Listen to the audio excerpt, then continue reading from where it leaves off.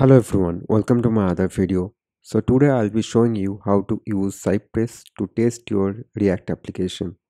So let's get started. So right now I will create one React application so that I can use that application uh, for testing using Cypress. So for installing or for creating the React application, I will write npx create React app and the app name is Cypress React and then it will take some time and I will enter into this project directory that is Cypress React and then I have to install this Cypress as dev dependency. So for that I'm writing npm install Cypress double dash dev and then uh, I will need this Cypress in my registry. So for that I'm writing npx Cypress install. So finally, I'm writing code space dot to open VS Code. Now inside VS Code, if you go to this app.js file, this uh, app component is uh, created by default by create react app. So I'm just deleting the whole thing, whatever's there inside this div element. So here I will simply create one input element uh, the type will be simple text. And whatever I will write inside this text I will simply update the state. So on change I will need one handler. So my handler method is on name change. And here I'm creating the handler method. And I will get the event from here. And from this unlimited I will simply update the state. So for that I have to first create the state. So I'm just uh, giving the state name as name. And uh, I'm using use state and setting the default state as empty string. And finally on name change I will update the state with e dot target dot value. Okay. So whenever there are some keystroke it will update the state of name. And then i will uh, need one button. Uh, so i'm naming the button as uh, show. And on clicking on this button i will call one handler method that is handle click. And in this handle click method I will simply toggle the state. So I will create the state later also I will define this handle click method later so let me first uh, show you uh, what I will render. I will simply render name inside this paragraph tag. So now uh, I have to create one other state for toggling that is visible and set visible and um, the state name is uh, visible actually. So i'm just uh, keeping the default state as false. And on clicking on this button i will call handle click. So i have to define that. So on handle click i will update the state to true. So here set visible I will set it to true. And now I will simply render this as uh, as a condition. Like whenever this visible uh, will be true it will be rendered. Okay. So now I will go back to the console and I will run the application using npm start to check the functionality is working or not. If the functionality works then i will move to cypress. Let's see. So here you can see that the server has been started at localhost port 3000 and here is my application. And if i write something here like test it is not showing right now. Now if i click on this button now it is showing. So the application is uh, running perfectly. Now I will uh, move to Cypress. So for that uh, I have to just uh, cancel this server. Uh, I will start a server later. So I'll first cancel this server and open the Cypress so for that I have to write npx space cypress space open. And after pressing enter uh, it will take some time uh, for the first time. So if you are running this command for the first time it will take some more time actually. And and it will open a cypress window like this and here uh, you can get two options that is e2e testing that is end-to-end testing and another one is component testing. So right now i will go for this e2e testing. Now you'll get this kind of examples. You can read it out. And i'm just clicking on this continue. And then it will initialize with some configuration.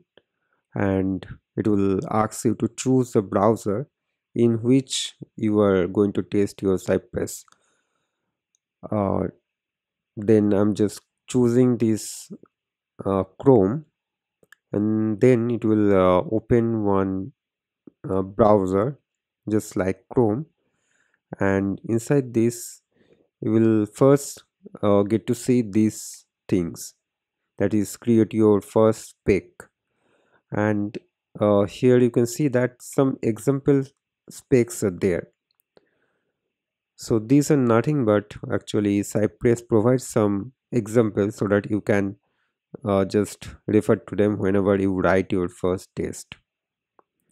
So if you go to the cypress folder you can see there are multiple folders inside this. So this e2e folder inside this e2e folder you can get this example whatever uh, the examples were there. So these examples are defined inside this e2e uh, folder. Now you can see that uh, there are two more folders inside this cypress directory that is fixtures and support.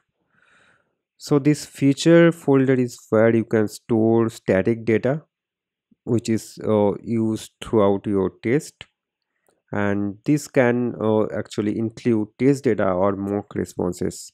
And also you can see that support folder is there. Now i will create one file to test our app component. So here i will uh, name the file as app.cy.js where cy is the is for cypress and then at the very beginning of this file i will uh, give three slashes and i will write reference. And uh, here the types will be cypress. And uh, yeah cypress and by adding this line in your test uh, it will make it possible for IntelliSense to work with cypress. Then uh, i have to describe my test. So for that i will write describe and inside it i will write test application. So for your case you can write anything. It can be your component uh, name or your application name anything so you can also describe your any test cases right here. So as i'm just uh, testing this app component so i'm writing app component only. And inside this describe i have to write before each because i have to visit one url before running these test cases. So inside before each i'm writing cy dot visit. So my react application is running at port 3000 at localhost. So i have to write that. So i'm just simply pasting it. And here it is. So it will first visit this url and then it will start the testing. Now I will write it and inside it I will add a simple message for the function I'm working on. So here I will just test that if the text is adding or updating into state. And also I will check the visibility. So I'm writing as text into state and toggle visibility. And inside this block I will first get the input element by writing cy dot get and then input. So here uh, i'm just writing input because there is only one input element here. And uh, i can directly select that uh, without giving any class name or id and then i will write dot type and inside this whatever i will write cypress will type it by its own so i'm just writing cypress test in react. And then i have to click on a button so that i can see the updated state inside one paragraph tag. So now if i click on this show button it will show me this test so for that i have to first get the button from this jsx so for that i'm writing cy.get button so i'm uh, just writing button so that i actually i can access the button directly because there is only one button.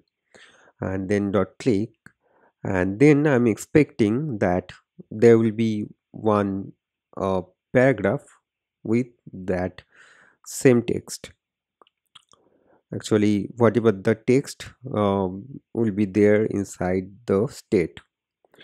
So for that first i'm getting that paragraph tag using cy.get p and then I'm writing dot should and uh, I can achieve this using have dot text and I'm expecting that the text should be the same as the previous one that is Cypress test in React.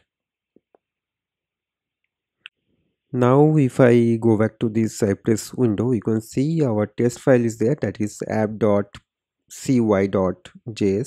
and if I double click on this file, uh, one test will automatically be started and I think there is some issue. Let me check this one. I think some issue with uh, the React server itself okay i think uh, i haven't started the server yet. Uh, let me check. Yes right so i have to start the server. So for that i'm just uh, opening this uh, terminal and opening a new tab and here i will write npm start.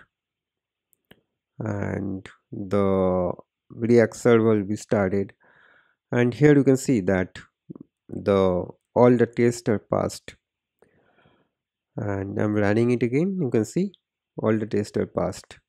And at the right side you can see that uh, the step by step whatever I have instructed uh, Cypress to do it has performed all the tasks uh, like uh, typing this Cypress test in React and then clicking on button and finally checking if the text is same or not now uh, what i will do i will just intentionally uh, edit uh, the expected value uh, inside this uh, paragraph so that the test can fail.